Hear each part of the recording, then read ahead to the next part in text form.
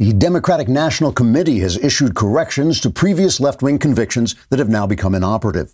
In a pamphlet, which was immediately adopted as the formal style book of the New York Times, a former newspaper, the DNC said it, quote, wished to clarify our previous statements of deeply held belief in order to eliminate any misapprehension that we were telling the truth when we made them, which might hamper our descent into unconscionable hypocrisy, unquote.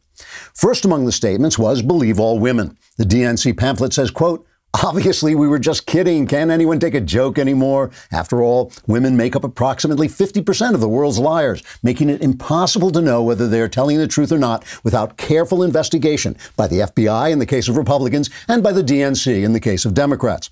Only after it is determined whether the accused is a Republican or a Democrat can we know whether the woman should be, in the first place, believed or, in the second, ignored, then rejected, then quietly destroyed. Unquote. A second statement that is now inoperative is dissent is patriotic. The pamphlet says, quote, this is a simple typo and we actually meant dissent is patriotic, meaning any protest that descends from Marxist radicalism and is intended to destroy the country to which patriots feel patriotic is patriotic, whereas patriotic dissent calling for freedom and economic reopening is unpatriotic because it's spelled differently, unquote.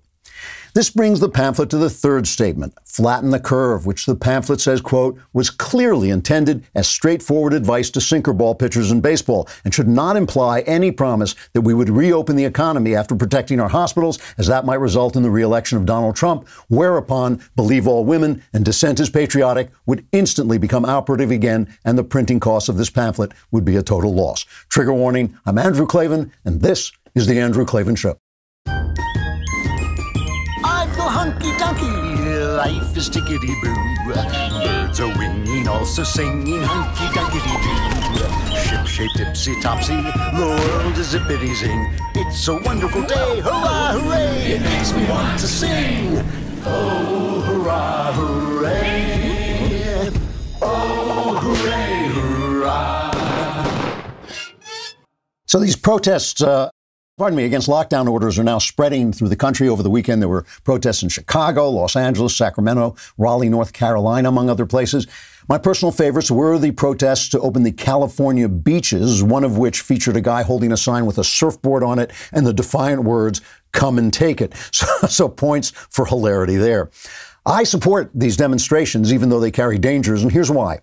First, just as a reminder, let me point out that in the same way I've resisted left wing fear mongering and China justifying during the current crisis, I've also opposed right wing posturing about our sacred liberties. I felt and I still feel that our sacred liberties are only under attack in certain un- isolated places and not in any systemic way. This doesn't mean there are no civil rights violations going on. There sure are, and cops who are doing stuff like that should knock it off. And I do think it's fair to worry that the current emergency procedures could be used by left wingers as an excuse to deprive us of liberty in the future, but sufficient unto the day is the evil thereof, so I'll worry about that when the time comes. But I support the current protests for a different reason. They're local. And it's important to notice that they're local. Donald Trump, in one of the single greatest acts of his presidency, has maintained our federal system during this pandemic and has left it to each state to determine what sort of reopen plan their situation requires. That's just common sense, but it's also good old fashioned American law. Not every governor and mayor has responded wisely or in a freedom loving way. They've ordered us to lock down to keep our hospitals from being overrun. Fair enough. Now that the hospitals seem to be safe, why isn't lockdown giving way to sensible reopening accompanied by recommended health procedures? What are the plans? What's the timeline? What's a realistic step by step design that will both help us protect ourselves, but also give us back our lives, our liberties, and our economy? I'm talking to people in New York City, and as far as they know, they'll be staying in their tiny apartments forever. They're getting no word whatsoever about when this ends or what the plan is. They just don't know.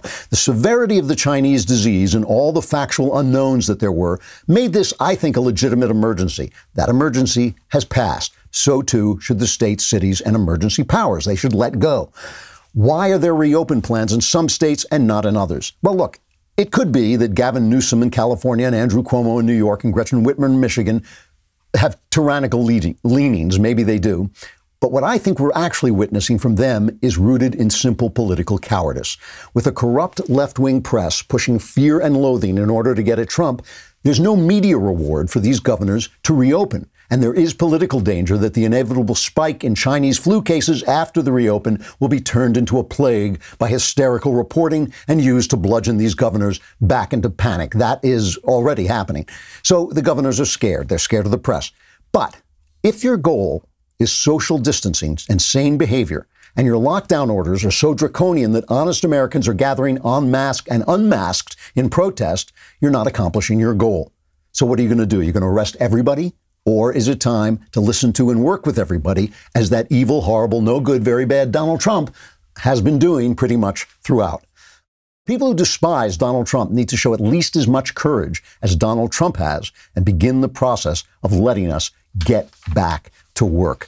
All right, let me, before I uh, start to talk about Rad Power Bikes, our sponsor, let me thank all our sponsors for sticking with us. We know this is a tough time, especially for small businesses. We know it's a tough time for the people who uh, patronize our sponsors. So we hope you will patronize our sponsors if and when you can. And we thank our sponsors for sticking with us, including Rad Power Bikes, because not only have they been uh, loyal and devoted, they also are just cool. I mean, a Rad Power Bike is just what it sounds like. It is a Rad Power Bike. You can pedal it, you can use the motor. It's a cross between a traditional bike and a moped, but it does doesn't require a special driver's license like a moped would. You can go up to 20 miles per hour without pedaling, so you can get out and get about without getting sweaty. It's nice, especially now when you want to just get out of your house at least and get some sun. They're great for commuting, getting out on the trail, hauling groceries, or even transporting your kids on the back. Unlike other e-bikes, they're actually affordable. Plus, to show appreciation for those that serve us, Rad Power Bikes is offering 100 bucks off all e-bike purchases for active ex-military, first responders, teachers, and students.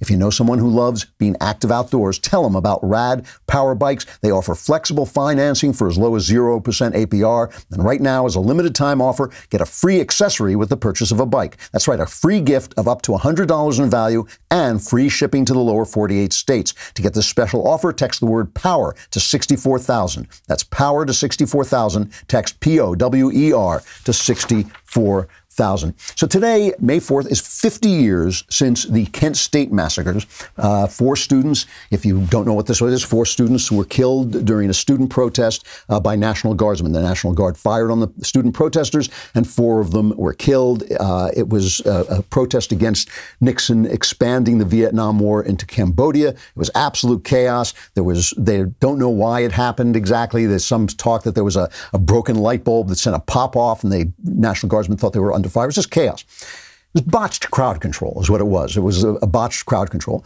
One thing that nobody will tell you but me is it was a political victory for the administration, right? It wasn't a moral victory, right? When young Americans are killing other young Americans, that's not a moral victory. But it was a political victory. There were big protests afterwards, huge protests across the country. You probably heard the famous song, Ohio, uh, Crosby, Stills, and Nash, I think it was, Tin Soldiers and Nixon coming. We're finally on our own. This summer I heard the drumming, Four Dead in Ohio. It was banned on a lot of AM stations, but it was played on a lot of FM stations.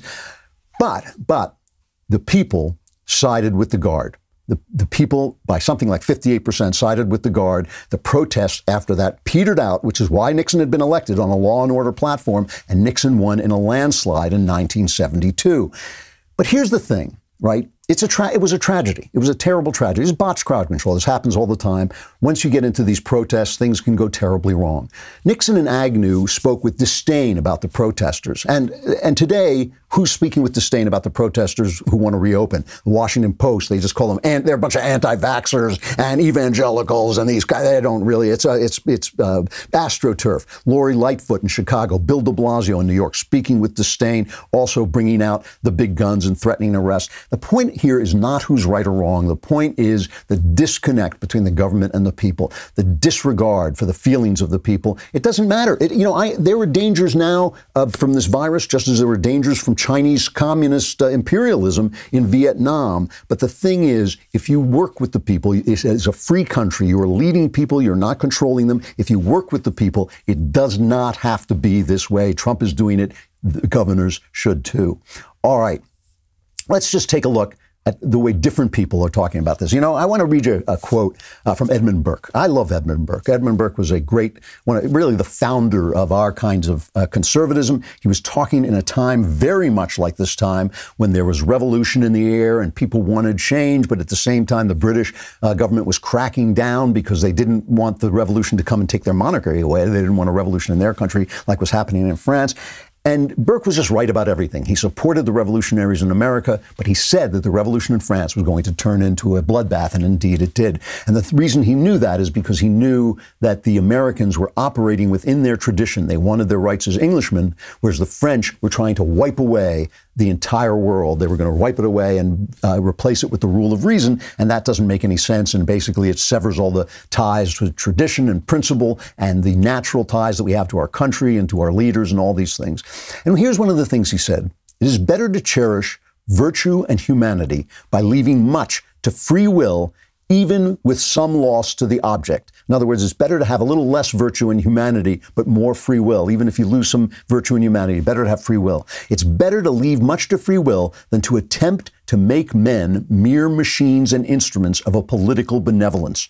The world on the whole will gain by a liberty without which virtue cannot exist. It's A big theme of mine. You can't have virtue unless you choose virtue. It's not charity if the government comes and takes your money away and gives it to someone else. It's charity when you reach into your pocket and give money. And conservatives do that more than leftists because they believe in individual humanity and individual free will and in individual uh, charity and virtue.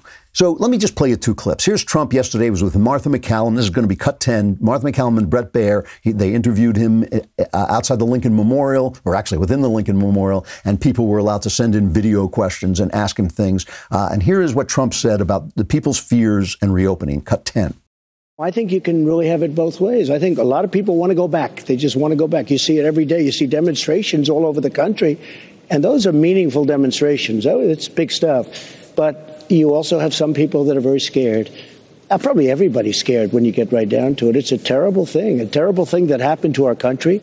So, in other words, he hears both sides of the story. He's, he understands that there are two things going on the economic uh, woes and the health woes, and he gets it. We all get it. And he was talking about the fact that 60 year olds should stay home saving the Klavan. That is the president's. I mean, he doesn't want to come out and say that because it sounds a little too individual. It sounds like he's only trying to save me, which of course he is. That's we, what we should all be doing is save the Klavan. But he was at least talking about the fact that, yeah, you know, the older people should be more protected, the younger people not so much. And obviously there's going to be costs and benefits all along the way.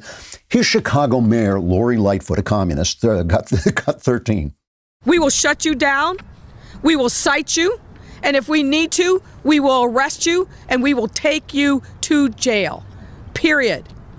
There should be nothing unambiguous about that.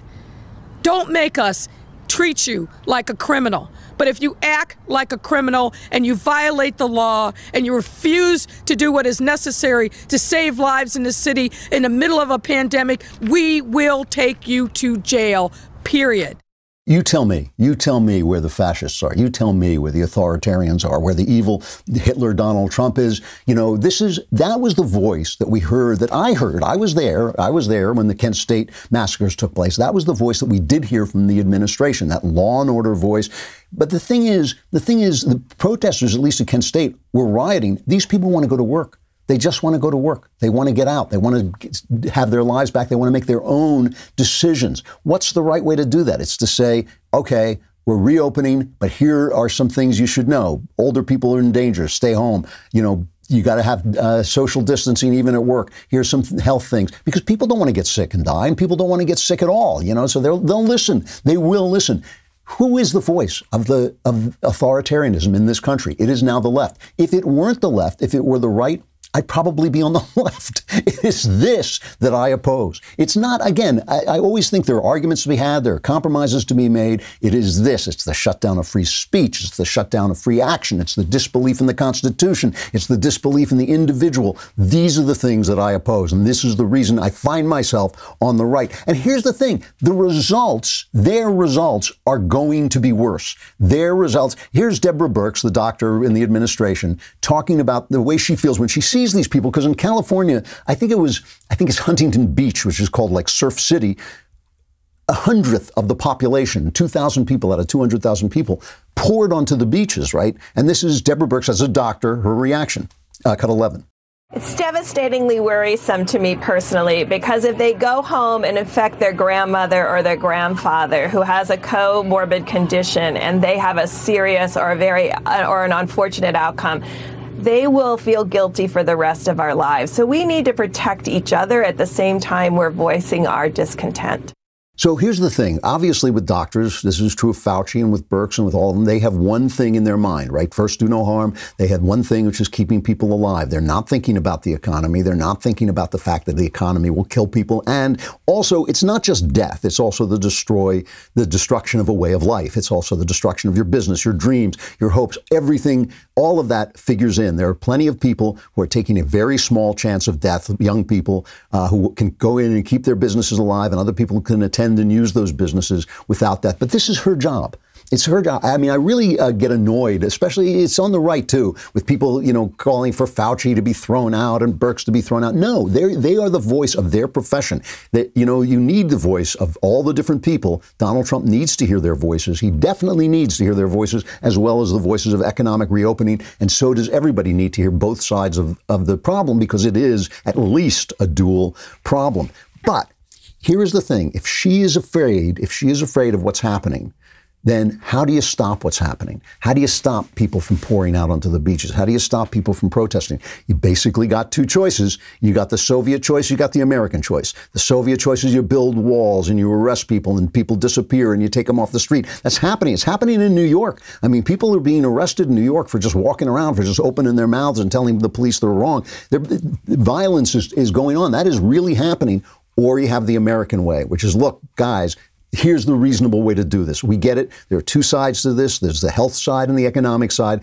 Let's work together to get this done. We are just your elected officials. We work for you. Let us help you. That's the way you do it. That is the way you govern in a free society. That is the voice of Donald Trump, except when he's talking to the press. And if the press would stop reporting on themselves, some of them might even hear the voice of Donald Trump, which is really an American voice. You know, the one place that has been going really well is in Florida. Florida is a mystery. They don't know why they haven't. They were predicting that Florida was going to be Italy. It hasn't been. They don't know whether it's because uh, of social distancing. They don't know what it's because. But one thing that did happen there, one thing that did happen was that Ron DeSantis said he's now preparing to open the state today, right?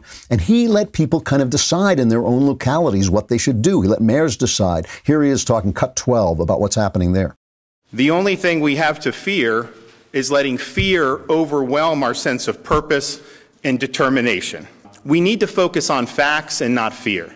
And I think that there's been a lot that's been done to try to promote fear. We were told over and over again Florida was going to be just like New York when it came to the coronavirus. Well, let's look at the tail of the tape. How close were we to New York? Fatalities. Obviously, a much different picture.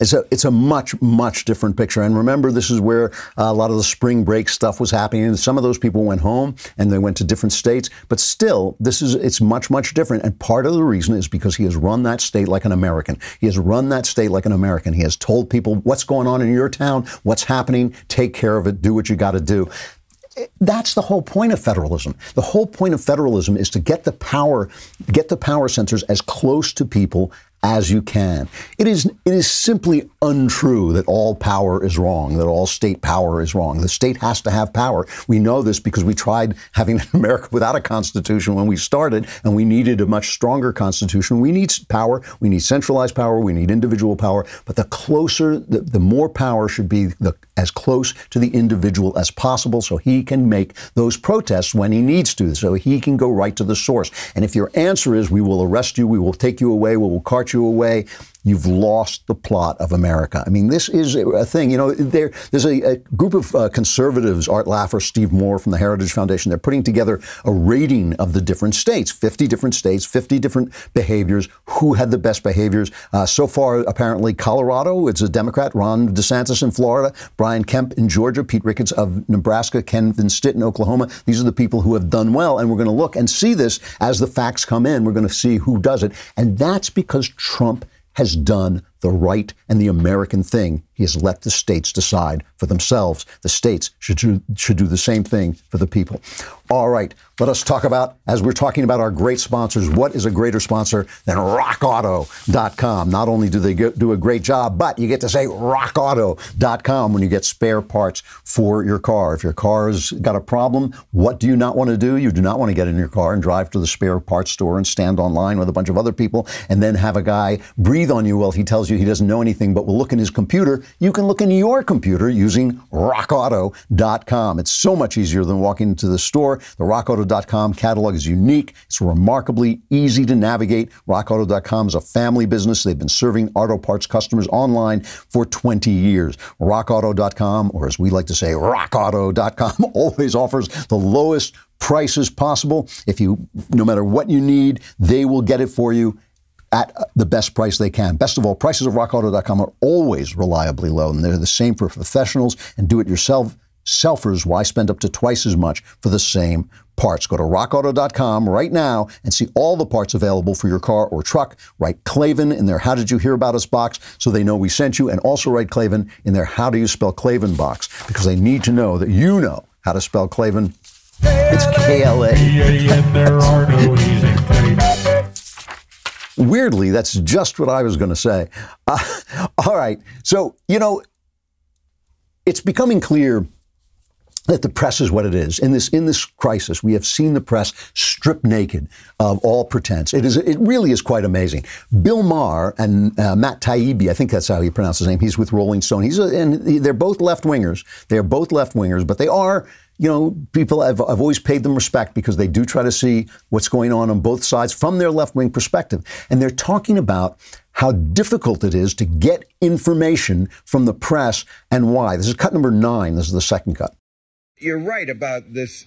If he says something, even though he is a crazy person, if he says we should get back to work, our answer can't be dependent on, well, he said it, it has to be wrong. Yeah, it, it's it, we're, we're, reverse engineering our attitudes on all these things, right? So, like, yeah. you take something like hydroxychloroquine.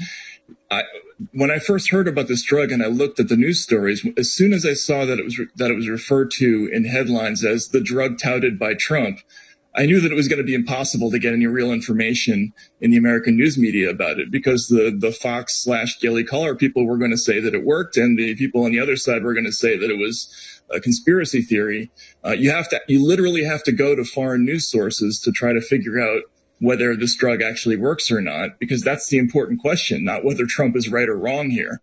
You know, I sometimes uh, hit the press for making themselves the story, but the press now is the story. They have made, they have succeeded. Congratulations. They have made themselves the story by doing exactly what Taibbi is talking about, which is reacting to everything Trump says just to get Trump in exactly the same way they did exactly opposite to, to Obama. And it is amazing to me, and we'll talk about this Biden thing in a second. We'll talk about the Biden charges.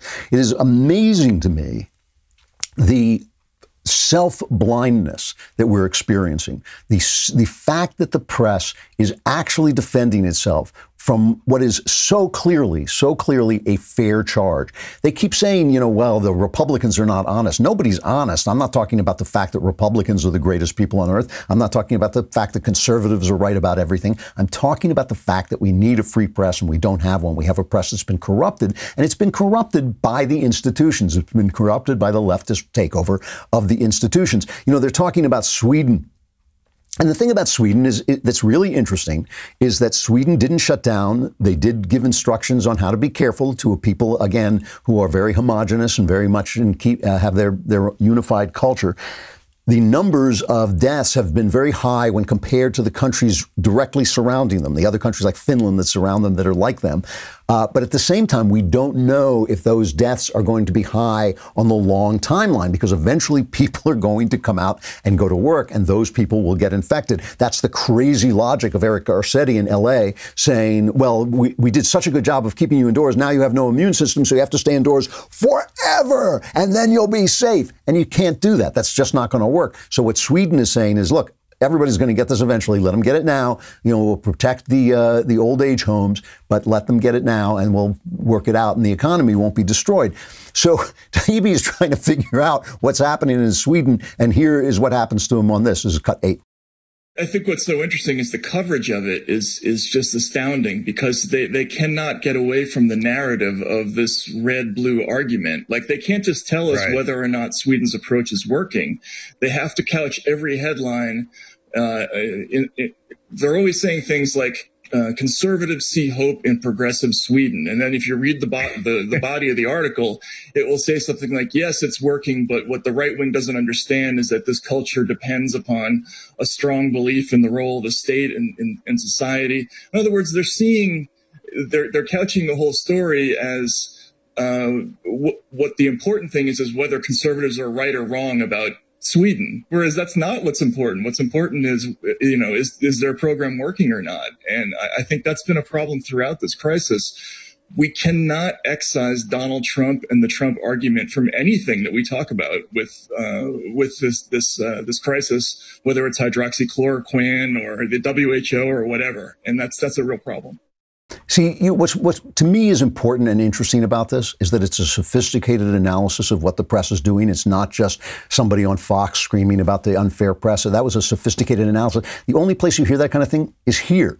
you hear that from me, right? And so that the fact that these two liberals are talking like me is important. It means that something has happened during this moment when when there's really only one news story that everybody's focusing on. I know there are other stories, but this is the big story, and it's brought this kind of focus uh, and spotlight on. And with Trump doing his uh, daily briefings, it's just been very obvious. And this Biden story has spoken to. You know, there there are occasionally times when I look at something like this and I think, you know, maybe all the evangelicals are right, and this is like a punishment from God. You know, maybe the God is right. You know, I, I don't actually think God works that way, but I think it's, I think it is a sinful world. It's a broken world. But I don't think God says, "Oh, you did this. Here's a punishment for that." I, I just don't. My observation is that's not the way things work. But I sometimes wonder if God, what God is saying in moments like this. And one of the things that is true is that every story, every story has emphasized the corruption of our press. And I believe this is the central problem in the country. I believe fixing the corruption of the press, making the press more fair, making the press more responsible to all the different sides is possibly the key thing to getting uh, a key step to getting our freedom back. And the difficulty of it is, of course, we can't do it by law because of the First Amendment. And I believe that that is right. But we have to do it by shaming. We have to do it by boycotting. We have to do it by suing when we're lied about all that stuff. And what's funny, it, just for comic relief here for a moment, here is Trump at this this thing with. Um, Martha and uh, and Bret Baier uh, at the Lincoln Memorial, and one of the people says to him, "You know, I really like your press briefings and I like what you're doing and all this, but could you stop with the nasty tone toward the press?" And Trump says, basically, "No." This is cut one. I am greeted with a hostile press, the likes of which no president has ever seen. Uh, the closest would be that gentleman right up there. They always said Lincoln. Nobody got treated worse than Lincoln. I believe I am treated worse. You're there. You see those press conferences. They come at me with questions that are disgraceful, to be honest, disgraceful. Their manner of presentation and their words. And I feel that if I was kind to them, I'd be I'd be walked off the stage. I mean, they come at you with the most horrible, horrendous, biased questions. And you see it 94 or 95 percent of the press is hostile. And yet, if you look in Florida today, we had hundreds and hundreds of boats going up and down the intercoastal, Trump, Trump. We have tremendous support. But the media is, they might as well be in the Democrat Party. And why, I don't know. He, goes on to say, "Why I don't know when I'm doing such a great job." Here, so here's the joke, and, and this really is wonder, wonderful. He says the press treats me worse than the press treated Lincoln. Right? This is from Emily Jashinsky at the Federalist. The reaction from the press. Okay, here's from Raw Story. Lincoln was assassinated. Disgust follows Trump's claim he is treated worse than Lincoln. And here's Yamiche Alcindor, who's been held up as an actual reporter when she's obviously just a left wing activist on PBS.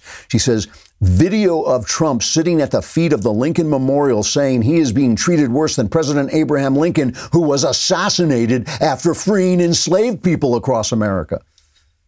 Just John Harwood, CNN White House correspondent. Trump tells Fox Town Hall he's treated worse than Lincoln was.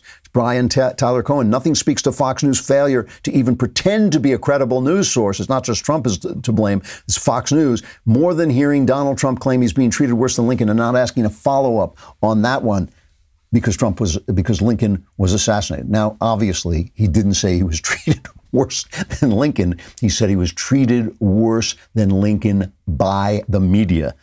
Trump was not, he was not, uh, Lincoln was not assassinated by the media. He was assassinated by an actor. And Trump is, has been treated badly by actors as well, but not as badly as Lincoln. I'll give them that. But even when he complains about the press, they lie about him. Even when he complains that he's being mistreated and his comments distorted by the press, they distort his comments and lie about him and treat him unfairly. So they can't stop. They literally cannot stop. And th- this is the thing that keeps getting me because I know a lot. I've been in the press, I've been a reporter, I've been in journalism, and I know these people and I know that they're not bad people. And I wonder, like, when you have to distort what somebody is saying, as obviously as you did there, not to mention Charlottesville, not to mention drinking Clorox or whatever, all that distortion, do you never say to yourself, if I have to keep distorting what he says, is he really saying that? And am I not lying? I mean, I look at things all the time where it'll say so and so right winger def- destroys left winger, and I'll look at it and I think, hey, he didn't destroy him, and I won't play it, or I will play it and say that that's the truth. If you're distorting and lying, ask yourselves why you have to do that. All right, let us talk for just a moment about the double tumbler promo because you know we still have to save the. And obviously, this is our main principle, our main project that we all have to do because remember, you only exist in my imagination. So if I go, everybody goes. But we, while we continue to do that, we have to remember that the deal for two leftist tears tumblers is coming to an end tomorrow. When you become a Daily Wire Insider Plus or an all access member, you get two of the magnificent, unbreakable, solid gold, diamond encrusted leftist tears tumbler, which are different from other, all other solid gold left diamond encrusted tumblers by not being solid gold or diamond encrusted. So act now before it's too late. And existing members, we will have a deal for you as well. Daily Wire members get all the amazing benefits. You get the app, you get uh, three hours of the Ben Shapiro show, you get uh, no an ad-free experience, and you get to be in the mailbag, so all your problems are solved. What else can you ask for? Come over to dailywire.com and subscribe. Just like our sponsors support us and we need their support, we need your support as well. So come on over and become a member.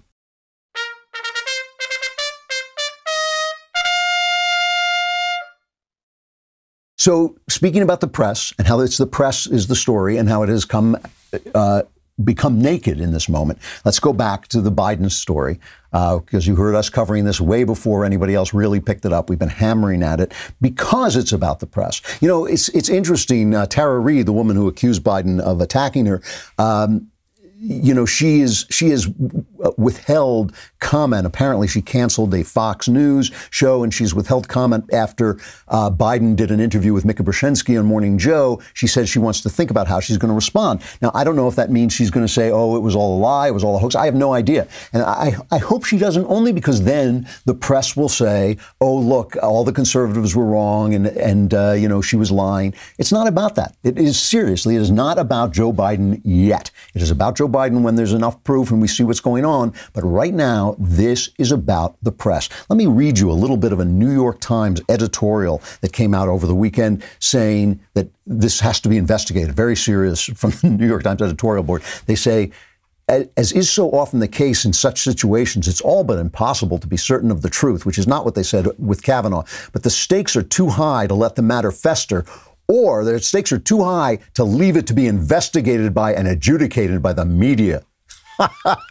Let's not let the press investigate this. That would be wrong. It would be wrong for the press to say, quote, every woman who says anything about Joe Biden. And notice how all the other women who say that Joe Biden treated them inappropriately have vanished, where with Kavanaugh, they were all piled on on top of the original accusation. But with Biden, it's like out the door with them. It's just this one thing. Once we disprove this, it'll be fine. And they say in 2018, this board, the editorial board, advocated strongly for a vigorous inquiry into accusations of sexual misconduct raised against Brett Kavanaugh when he was nominated to a seat on the Supreme Court. Mr. Biden's pursuit of the presidency requires no less. Now, they what they called for was the FBI to investigate Kavanaugh. What they're calling for now is the DNC. The Democratic National Committee should move to investigate the matter swiftly and thoroughly with the full cooperation of the Biden campaign. That'll be reliable. We can trust the DNC. We don't want the FBI to do it. We don't want the press to do it. No, no, no. It is amazing to me. It is just amazing to me. And again, I don't think that these are sinister cartoon villains going, ah, now we'll lie about this. I think they are truly, truly self deceived. They must be. They must be self deceived. No one could behave this badly, naked in front of everyone. They are the emperor. They really are the emperor who thinks he is wearing magic clothes that he can't see, but everybody else can see. It, it's and and you want listen to them def- deflect. They'll say, "Well, Trump, Trump also had all these problems with women." Is it's about the press. Is anybody going to argue that Trump's problems have not been investigated, that accusations have not come forward about Trump? Is anybody going to argue that the uh, press has gone easy on Donald Trump? No, it's not about that. It is about the difference between the way they cover Democrats and the way they cover Republicans.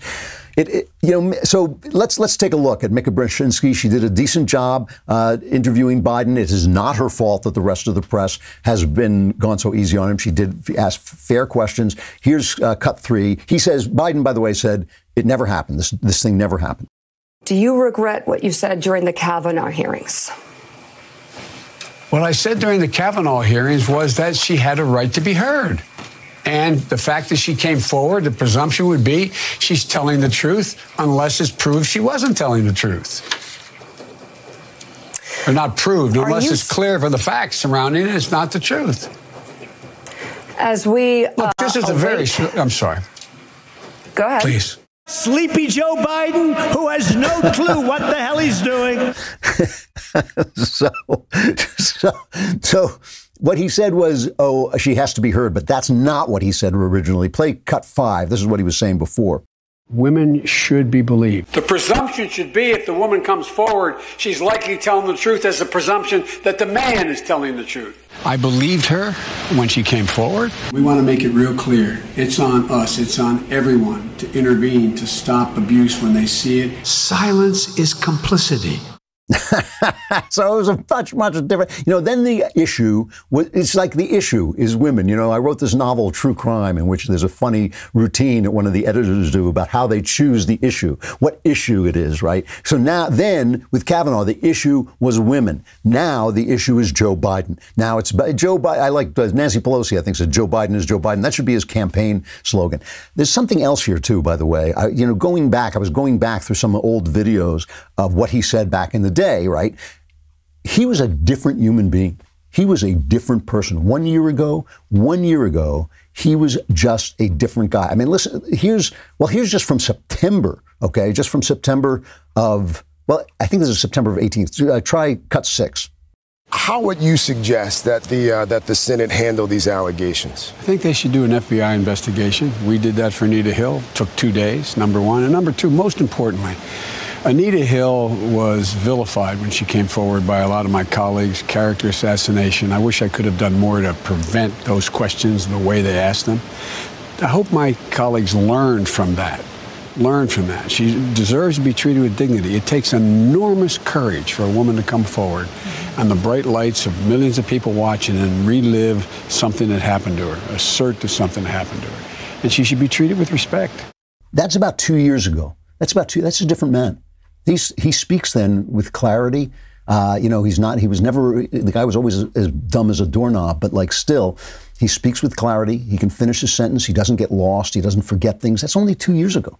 Uh, you know, the guy, I mean, I, I said this a couple, of, a, a, while back. The guy is deteriorating in front of our eyes. That is not the same person that is talking today. And that's another thing they're just not covering. It just doesn't exist. It's all evil right wingers and evil, you know, it's just like Taibbi said, it's all about the person who makes the charge, not about what's actually happening. That's a different guy than is talking now. This guy has deteriorated in a very, very short period of time while no one is covering it. And so, you know, the, the fact, you know, Martha Raddatz had um, uh, McDaniel, the uh, head of the RNC, on.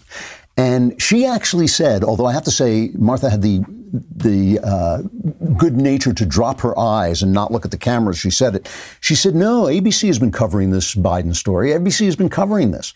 And Ronna McDaniel opened up and let her have it, and it was such a. I'm going to play it because it's such so precise that it is amazing that Martha Raddatz could think that ABC has covered the story and there's no double standard. I'm going to take issue with the media ignoring this. It has been appalling the hypocrisy as to how Brett Kavanaugh was treated versus Joe Biden.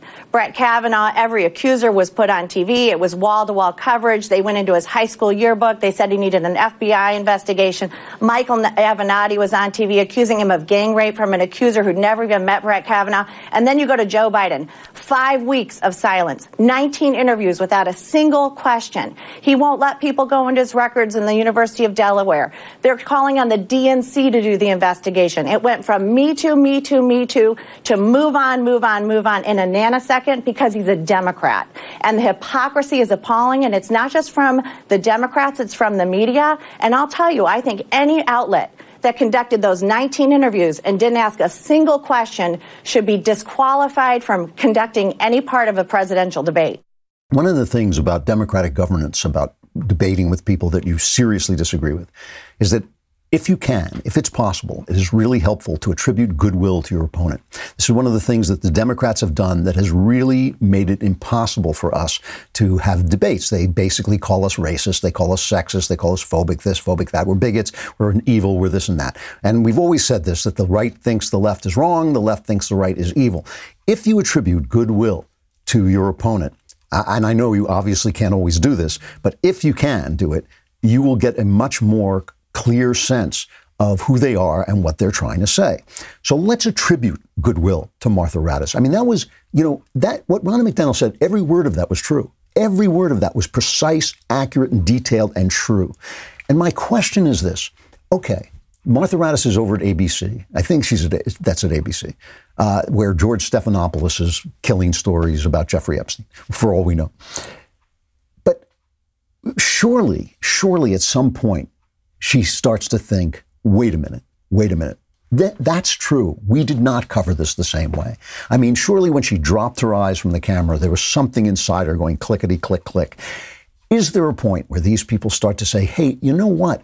We're not covering the news in a fair way.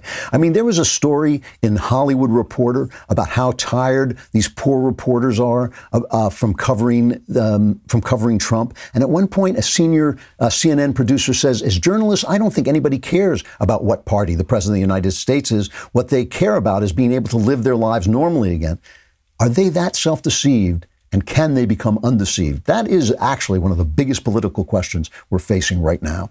All right, a final uh, reflection. Over the weekend, you know, we've been trying to watch kind of classic movies, but also we've been I've been listening uh, to uh, Woody Allen's uh, autobiography, apropos of nothing. And as you remember, Woody Allen's biography was going to be published, and then the uh, left wing fascists who worked at the publishing house went out on strike, basically saying no because he was accused of. Uh, um, molesting his daughter in a, an accusation that he completely denies. And so they actually canceled the contract to publish his book, and it's been put out, I think, by Amazon or something like that. I, it's not a big publisher, but it's, it is out. It's called Apropos of Nothing. I'm not a Woody Allen fan. I, I, really dislike the man personally. I can't stand him when I see him on TV acting normally. I think his films are okay, but overrated.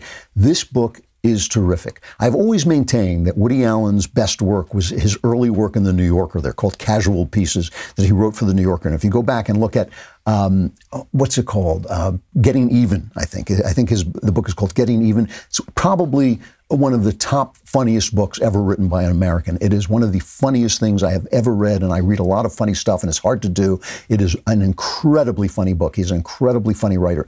This is an an honest look at a very, very damaged guy. He depicts himself as a damaged person. He shows himself to be damaged, and there's a lot of uh, lack of awareness about his own damage. A lot of things where he keeps saying, "No, I had a wonderful childhood. I don't know where this came from." And then you listen to his childhood and think, like, "Yeah, I'm starting to see where this came from." He, he, as he himself says, his psychotherapy has never helped him at all. He is just a damaged guy. So. Anyway, in keeping with watching this uh, book, with reading this book, and I'll get back and say more about it when I finish it, uh, my wife and I watched uh, Play It Again, Sam, which was from 1972.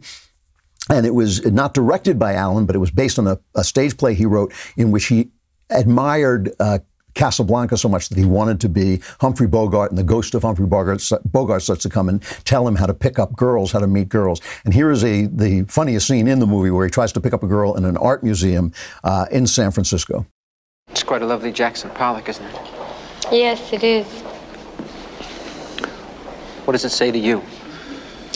It restates the negativeness of the universe, the hideous, lonely emptiness of existence, nothingness, the predicament of man forced to live in a barren, godless eternity, like a tiny flame flickering in an immense void with nothing but waste, horror, and degradation forming a useless, bleak straitjacket in a black, absurd cosmos. What are you doing Saturday night? Committing suicide. What about Friday night? That's the funniest line in the movie. It's really inter- what's really interesting is the movie is not very funny. Uh, uh you know, I rem- I remember it as being absolutely hilarious. I remember cracking up once so hard that I actually banged my head on the uh, seat back in front of me in the theater. Uh, it's not that funny. It's a lot of uh, physical humor, a lot of slapstick, throwing things around.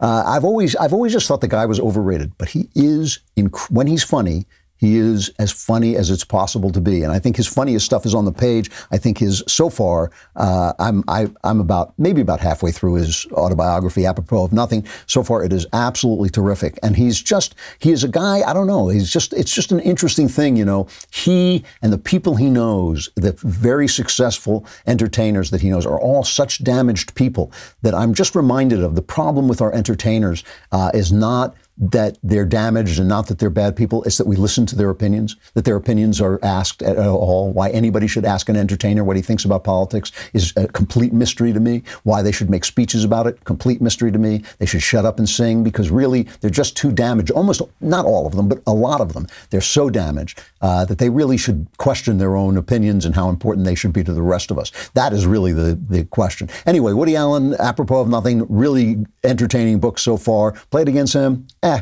you could skip it. All right, I'll talk to you again tomorrow. I'm Andrew Klavan. This is The Andrew Klavan Show.